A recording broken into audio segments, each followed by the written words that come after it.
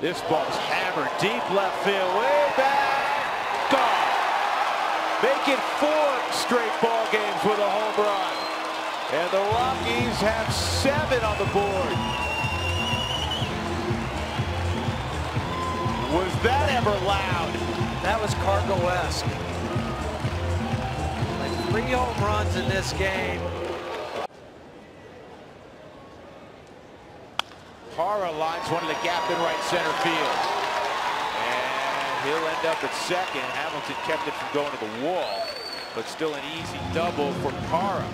Rocky scored five times in the first, two more in the second. They've hit four home runs. And this ball's well hit to deep center field. And this ball's got five home runs tonight. And we're just in the third inning. This ball's lined to right, and look at this.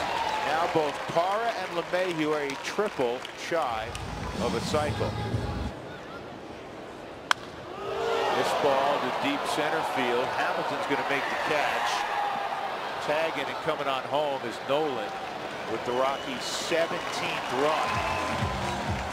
Look at my score sheet. You This look at what wrong. you did to your score sheet. We go to the fifth inning. Astros lead at 7-2. Make it 8-2 when this comes down as Luis Valbuena has launched one to right field.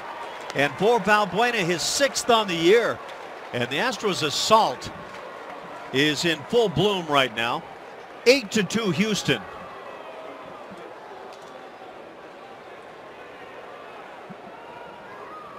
What do you mean you're not going to let me do this?